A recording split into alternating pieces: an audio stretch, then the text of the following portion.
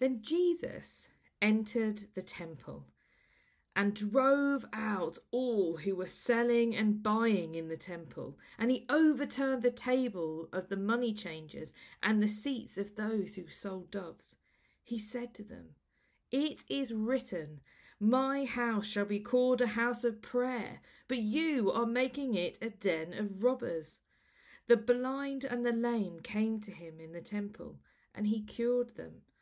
But when the chief priests and the scribes saw the amazing things that he did and heard, the children crying out in the temple, Hosanna to the Son of David, they became angry and said to him, Do you hear what these are saying?